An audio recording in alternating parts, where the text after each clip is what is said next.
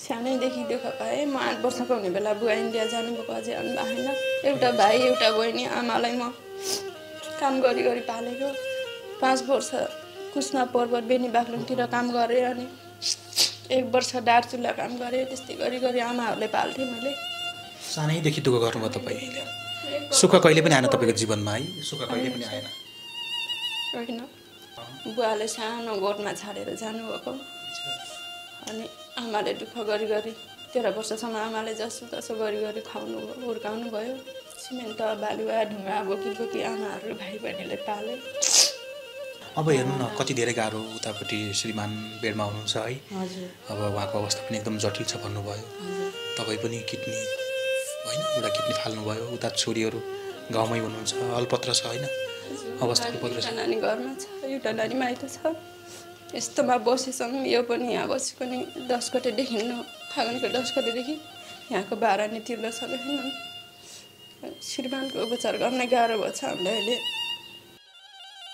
मेरो नाम बिजुला बोरामु हो। मलाई चाहिँ पहिल्यैदेखि नै समस्या भनेको ग्यास्ट्रिकको समस्या हो। खाने बित्तिकै टोइलेटहरू लाग्ने त्यस्तो समस्याहरू बिस्तारै बढ्दै गयो। छ सात दिनसम्म पनि एक ग्यास्ट्रिकै समस्याले अ, भन्नै भएर बस्नु पर्यो त्यस्तो हुँदाखेरि चाहिँ मलाई एक हिसाबले डर पनि लाग्यो। कतै मलाई क्यान्सर पो भयो कि होइन। धेरै टेन्सनहरू भयो। वैदिकमा जाउँ न त आयुर्वेदिक जुन हस्पिटल छ उहाँ त्यसमा पनि जाउँ भन्ने हिसाबले अनि म गएको हो त्यस पछाडि। अनि त्यहाँ जाँदाखेरि चाहिँ अब त्यो औषधिहरू चाहिँ अब डक्टरको सल्लाह अनुसार खाएँ। अलि आयुर्वेदिक दबाईले चाहिँ त्यस्तो गलेको महसुसहरू चाहिँ हुँदैन कि? हुन्छ नि हाम्रो शरीरमा फुर्तिलो हुने खानेकुराहरू पचाउन चाहिँ धेरै सहज भयो जस्तो लाग्छ यो औषधिले चाहिँ। अहिले चाहिँ धेरै राम्रो छ औषधि नै खाएको छैन अहिले चाहिँ। सम्पर्क वैदिक आयुर्वेद सेवा प्रणाली लायन्स चोक आनन्द मार्ग नारायणगढ चितवन। फोन शून्य छप्पन्न पाँच पन्चानब्बे एक चौरात्तर। मोबाइल अन्ठानब्बे पाँच पचास पचास नौ चौतिस। कृतिपुर ट्याङ्ला चोक काठमाडौँ। शून्य एक चार तेत्तिस अठार अन्ठानब्बे। मोबाइल अन्ठानब्बे पाँच बाह्र चालिस नौ चौतिस।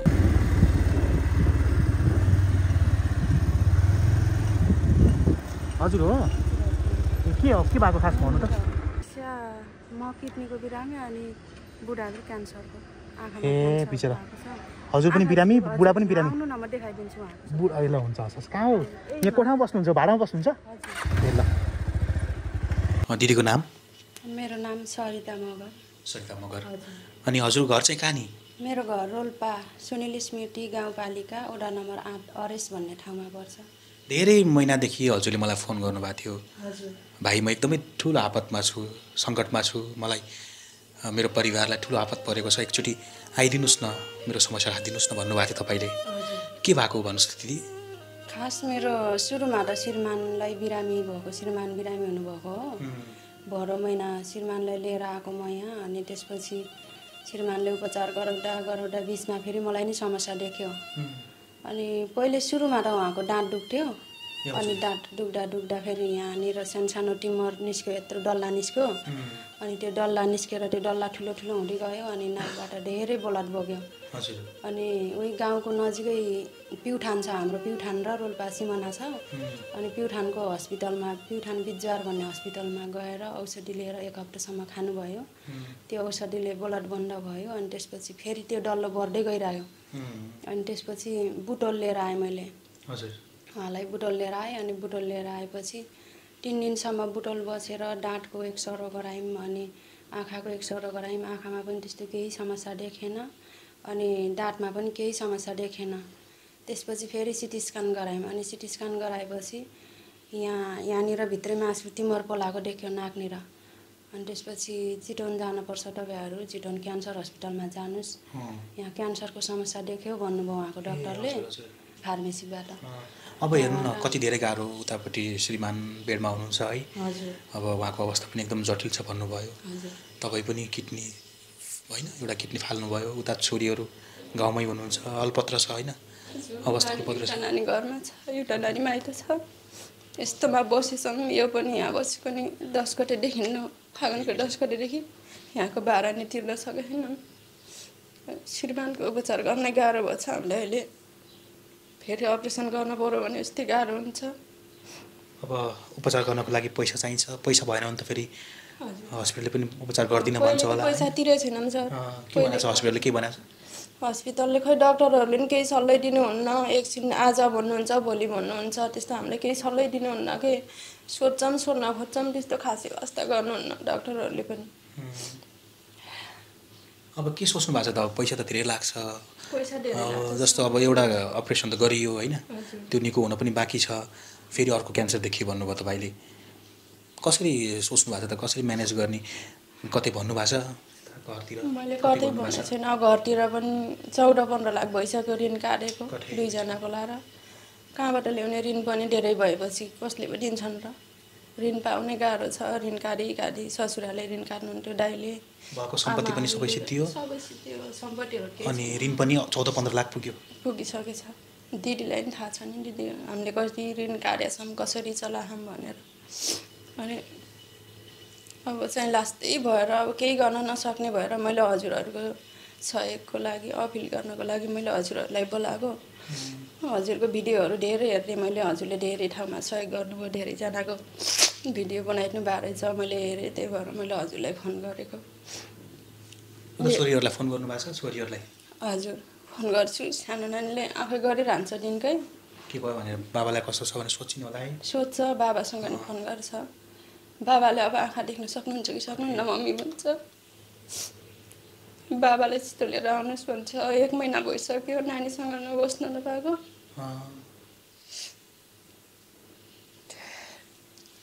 एउटा आँखामा समस्या।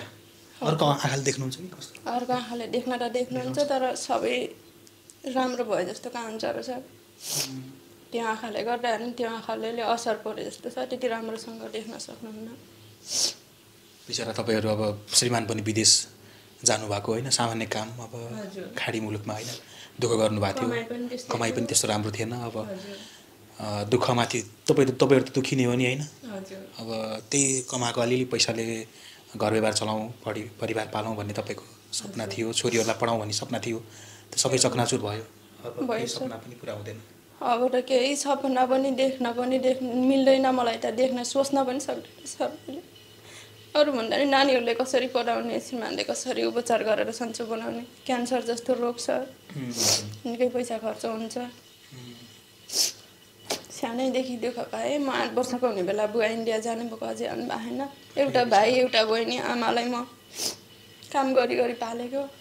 पाँच वर्ष कुस्मा पर्वत बेनी बाग्लुङतिर काम गरेँ अनि एक वर्ष दार्चुला काम गरेँ। त्यस्तै गरी गरी आमाहरूले पाल्थेँ मैले। सानैदेखि दुःख गर्नुभयो तपाईँले सुख कहिले पनि आएन तपाईँको जीवनमा है? सुख कहिले पनि आएन। बुवा भएको भए बुवाले अलि पढाएको अलि बुवाले अलि केही गर्न सकेको भए केही न केही हुन्थ्यो होला। बुवाले सानो गोठमा छाडेर जानुभएको। अनि आमाले दुःख गरी गरी तेह्र वर्षसम्म आमाले जसो तसो गरी गरी खुवाउनु भयो हुर्काउनु भयो। तेह्र वर्षदेखि काम गर्न हिँडेँ। सिमेन्ट बालुवा ढुङ्गा बोकी बोकी आमाहरू भाइ बहिनीले पाले। अनि उन्नाइस वर्षमा मेरो बिहे भएको। हजुर। हजुर। नातिनु होला धेरै सहयोगी मनहरूले यो भिडियो पनि हेर्दै हुनुहुन्छ। हजुरको दुःख हजुरको वेदना सुनिसकेपछि एकदम मनकारी सहयोगी नेपालीहरूले केही सानो रकम भए पनि सहयोग गरिदिनु भयो भने पक्कै पनि तपाईँलाई सहज हुन्छ है। यस्तो भएर धेरैले हेर्दै हुनुहुन्छ दिदी। नेपाली दाजुभाइहरू एकदमै मनको धनी हुनुहुन्छ आफूसँग थोरै पैसा भए पनि यसरी दुःखी गरिब होइन पीडितलाई देख्नुभयो भने अनि सहयोग गरिदिइहाल्नुहुन्छ थोरै भए पनि बरु घरमा पठाउने पैसालाई कटौती गरेर भए पनि सहयोग गर्नुहुन्छ मनकारी हुनुहुन्छ र थुप्रैलाई पनि हामीले सहयोग गरेका छौँ। आशा छ दिदीको यो समस्या सुनिसकेपछि तपाईँहरूले पनि दिदीलाई सहयोग गर्नुहुन्छ। र उहाँलाई कुनै कुराहरूको तपाईँलाई सहयोग गर्न मन लाग्यो भने सजिलो तरिका छ। स्क्रिनमा राखिएको नम्बरमा फोन गर्नुहोस् अनि त्यस पछाडि डिटेल्समा म तपाईँहरूलाई जानकारी दिन्छु। र बिचरा दिदीको अवस्था एकदमै गाह्रो रहेछ। धेरै दिनदेखि मलाई फोन गर्नुभएको थियो अनि दिदीलाई भेट्न पनि मलाई एकदमै मन थियो किनभने अब उता उहाँको श्रीमान पनि बिरामी उहाँ पनि बिरामी। अब आर्थिक रूपमा पनि एकदमै सम्पन्नता भएको परिवार नै आर्थिक रूपमा कमजोर परिवार है। अब के गर्ने? पैसा नभइसकेपछि हस्पिटलबाट पनि निकालिदिन्छ। धेरै कुराहरू समस्या हुन्छ। विभिन्न समस्याहरू उहाँले पनि मलाई भन्नुभएको थियो अनि मैले एकचोटि दिदीको समस्या सुन्नुपर्छ। यस दिदीलाई हाम्रो सानो प्रयासबाट केही राहत हुन्छ कि भन्ने हिसाबले नै म यहाँ आइपुगेको छु। म सबैलाई भन्छु दाजुभाइ दिदीबहिनी सबैजनाले यो भिडियो हेर्ने हुनुहुन्छ। सबैजनाले म जस्तालाई धेरैले सहयोग गर्नुभएको छ। ती सहयोग गरिदिनु होला मेरो श्रीमान क्यान्सरसँग लडिरहनु भएको छ। बचाइदिनु होला। हजुरहरूले सहयोग गरिदिनु भयो भने बाँच्नुहुनेछ। मेरो साना साना छोरीहरू छन् यो छोरीहरूलाई कसरी हुर्काउने मैले? उहाँलाई उपचार गरेर जस्तो हो भने उहाँको शरीरको अपाङ्ग केही चिजहरू भए पनि म उहाँलाई मसँगै भएपछि मेरो छोरीहरूले हाँसी खुसी राख्न सक्छु। सबैजनाले सहयोग गरिदिनु होला। चौध पन्ध्र लाख रुपियाँ ऋण लागिसकेको छ। अब यहाँ अहिले उपचार पनि भइरहेको छ। कति जति खर्च लाग्छ भन्नुभएको छ अहिले? अब डक्टरले डक्टरले भनिदिनु नै हुन्न कि सर हामीलाई यति लाग्छ भनिदिनु हुन्न त्यही भएर हामीलाई पैसा खोर्न पनि त्यस्तै मुस्किल हुन्छ। यति लाग्छ खर्च तपाईँहरूको भनेको भए त हामीले म्यानेज गर्थ्यौँ। सोड्डाहरू पनि त्यो त तपाईँहरू आफै म्यानेज गर्ने हामीले भनेर हुन्छ र अपरेसन जस्तो चिज तपाईँहरूले कति लाग्छ भनेर अनुमानमा कति लाग्ला दिदी? अनुमानमा कति जति लाग्ला? अनुमानमा त खै अस्ति नै नौ दिनको हो कि दस दिनको जानुभयो एकजनाले। पचास हजार त त्यही भित्रै लाग्यो भन्नुहुन्थ्यो। अपरेसन खर्चतिरै अनि बाहिर औषधिहरू पचास हजारको लाग्यो भन्नुहुन्थ्यो। हाम्रो त झन् धेरै भयो सर। हाम्रो आज तेह्र दिन भयो हस्पिटलमा बसेको। औषधिहरू लगिरहेछन्। त्यहाँ औषधि फार्मेसीमा चार दिन पुग्ने बेला नै अपरेसन गरेको चार दिन पुग्ने बेला नै पचास हजार थियो। अब कति छ थाहा छैन। साँची फार्मेसीबाट ल्याएछौँ हामीले। हस्पिटलमा छटपट दिँदाखेरि कस्तो हुन्छ मन? अब के गर्नु अब यो त? जस्तो भाइ हो? अब मलाई त यस्तो लाग्छ भाइ के- हो ठिक हुन हुन सक्यो भने त म के के जे पनि गर्न सक् गर्छु जस्तो लाग्छ के भन्ने मात्रै रहेछ अब हुँदैन रहेछ। अब लास्टमा त्यो त्यस्तै छ भाइ अब भाइको अवस्था। अब उसको मुखमा हेर्दा अब मनता पनि छ अब ठिक छ हजुरले पनि सम्हाल्नु होला। हजुर, अनि बुहारीलाई पनि सम्हाल्नु होला है। छ अब उसले के भयो कस्तो भयो ठिक हुन्छ हुँदैन के भन्छ डक्टर भन्न छोडिरहेको छ। जडीबुटीको शक्ति नेपाली उपचार पद्धति। नमस्कार अनि हार्दिक स्वागत छ कार्यक्रम मेरो देश मेरो आयुर्वेदमा। हामी यस कार्यक्रममा नेपाली जडीबुटी र आयुर्वेद उपचार पद्धतिबाट हासिल भएका सफलताको जीवन कथा तपाईँहरूमाझ प्रस्तुत गर्ने गर्दछौ। गोर्खा जिल्ला आरुघाट घर भए हाल मंगलपुर भरतपुर चितवनमा दुध डेरी किराना पसल गर्दै आफ्नो जीवन यापन गर्दै आउनु भएकी बिजुला बरामु पेटको समस्याबाट पीडित हुनुहुन्थ्यो। मेरो नाम बिजुला बोरामु हो।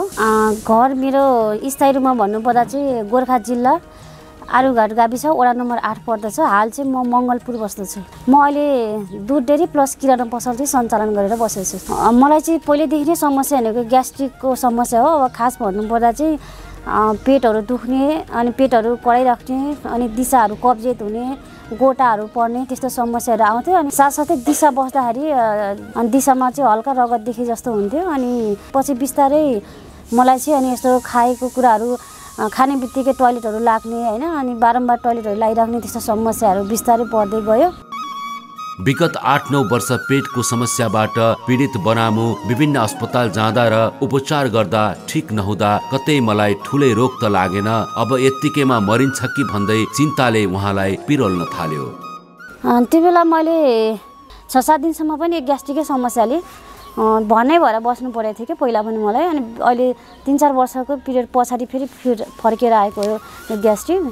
मेडिकलको नि खाएँ होइन? दबाई त करिब करिब एक महिना चलाएँ। त्यो एक महिना दबाई चलाउँदा नि मेरो त्यो खाए खाएको खानेकुराहरू नपच्ने होइन? त्यस्तो हुँदाखेरि चाहिँ मलाई एक हिसाबले डर पनि लाग्यो। कतै मलाई क्यान्सर पो भयो कि होइन? अथवा मलाई चाहिँ अ, मृगौला ड्यामेज भएर चाहिँ यस्तो समस्याहरू भएको हो कि? धेरै टेन्सनहरू भयो। अब मलाई चाहिँ ठुलै रोग लागेको छ क्यारे अब म चाहिँ मर्छु होला सायद भन्ने त्यस्तो मनमा लागिसकेको थियो मलाई। उपचार गर्न कसरी आइपुग्नु भयो त वैदिक आयुर्वेद सेवा प्रणालीमा के कस्ता सल्लाह सुझाव पाउनुभयो? पछि यस्तै टिभीहरू मैले प्रोग्रामहरू पहिले नि हेरेँ भएर एकचोटि त्यही भए पनि वैदिकमा जाऊँ न त आयुर्वेदिक जुन हाम्रो औषधि अथवा जुन आयुर्वेदिक जुन हस्पिटल छ उहाँ त्यसमा नि जाउँ भन्ने हिसाबले अनि त्यो टिभीबाट आएको प्रोग्राम हेरेर पनि अनि एकचोटि विचार गर्न भए पनि जाउँ भनेर चाहिँ उहाँसँग भनेँ अनि उहाँले हुन्छ नि त जाउँ भन्नुभयो र म गएको त्यस पछाडि। अनि त्यहाँ जाँदाखेरि चाहिँ अब त्यो औषधिहरू चाहिँ अब डक्टरको सल्लाह अनुसार खाएँ। डक्टर साहबले सुनाम भन्नुहुन्थ्यो। तपाईँले विशेष गरी अब हामीले भनेको निर्देशनअनुसार औषधिहरू चाहिँ त्यो तपाईँले खानुपर्छ होइन? तपाईँले बिचमा चाहिँ खाँदै गर्दाखेरि बिचमा नटुटाउनुहोस् नि अब खाने बित्तिकै त यो आयुर्वेदिक औषधिले निको हुँदैन। त्यसले बिस्तारै तपाईँको शरीरलाई चाहिँ काम गर्छ। तपाईँ नातिकन चाहिँ राम्रोसँग दबाईहरू खाने अब खानपानलाई ध्यान दिने त्यस्तो गर्नुभयो भने पनि तपाईँलाई धेरै राम्रो हुन्छ भनेर सल्लाह दिनुहुन्थ्यो। त्यही अनुसार नै मैले गरेको आयुर्वेद औषधि सेवनपछि खान रुचेको छ शरीर फुर्तिलो भएको छ बन्द भएको व्यवसाय पुनः सञ्चालन गर्नुभएको छ। अहिले आयुर्वेदिक दबाईले चाहिँ त्यस्तो गलेको महसुसहरू चाहिँ हुँदैन कि? हुन्छ नि हाम्रो शरीरमा फुर्तिलो हुने खानेकुराहरू पचाउन चाहिँ धेरै सहज भयो जस्तो लाग्छ यो औषधिले चाहिँ। अहिले चाहिँ धेरै राम्रो छ औषधि नै खाएको छैन अहिले चाहिँ। पसल पनि मैले दुई महिना पछाडि चाहिँ फेरि सुचारू गरेको। दुई महिना त बन्दै गरेको मैले पसल चाहिँ। परामुको जीवनमा वैदिक आयुर्वेदिकको आयुर्वेदिक उपचार पद्धतिले खुसियाली फर्काउन सफल भएको छ। होइन पहिला त मलाई पनि त्यस्तै लाग्थ्यो प्रचार मात्रै होला भन्ने जस्तो लाग्थ्यो तर बिस्तारै आफूले जुन औषधिहरू खाँदै गएँ अनि त्यस पछाडि चाहिँ होइन साँच्चीकै वैदिक आयुर्वेदिक जुन हाम्रो गाउँघरको जडीबुटी अति उत्तम रहेछन् होइन त्यसले चाहिँ हाम्रो स्वास्थ्यलाई धेरै बिस्तारै काम गरे पनि त्यसले चाहिँ धेरै हदसम्म चाहिँ हाम्रो स्वास्थ्य राम्रो हुँदै गएको जस्तो लाग्छ मलाई। ठिक हुन्छ किन नहुने मलाई चाहिँ जहाँसम्म चाहिँ मलाई अरूले भन्दा चाहिँ विश्वास लाग्थेन अब आफैले जो औषधिहरू खाइसकेपछि विश्वास लाग्छ। म आफ्नो परिवारलाई नि केही भए समस्या सामान्य समस्या भए पनि म त्यसमै लैजान जानको लागि चाहिँ हामी परिवारमा सल्लाह गरेरै जान्छौँ। यस्तै सफलताको कथा हामीसँग अरू धेरै बाँकी छन्। आयुर्वेदिक उपचार पद्धतिको माध्यमबाट वैदिक आयुर्वेद सेवा प्रणालीले बिरामीहरूको ओठमा ल्याएको मुस्कान र जीवनमा ल्याएको खुसियालीका उदाहरणहरू अरू धेरै बाँकी छन्। हवस् त मेरो देश मेरो आयुर्वेदमा आजको सफलताको कथा यति नै। सम्पर्क वैदिक आयुर्वेद सेवा प्रणाली लायन्स चोक आनन्द मार्ग नारायणगढ चितवन। फोन शून्य छप्पन्न पाँच पन्चानब्बे एक चौरात्तर मोबाइल अन्ठानब्बे पाँच पचास पचास नौ चौतिस कृतिपुर ट्याङ्ला चोक काठमाडौँ। शून्य एक चार तेत्तिस अठार अन्ठानब्बे मोबाइल अन्ठानब्बे पाँच बाह्र चालिस नौ चौतिस धरान रोड हलगडा चोक इटहरी। फोन शून्य पच्चिस पाँच अस्सी पाँच पचपन्न मोबाइल अन्ठानब्बे चार छप्पन्न चौवन्न तिन बयानब्बे। बुटवल शाखा तिलोत्तमा छ मणिग्राम बाह्र नम्बर पुरानो फ्यारागन बोर्डिङ मोबाइल अन्ठानब्बे पाँच सत्तरी उनासाठी नौ चौतिस।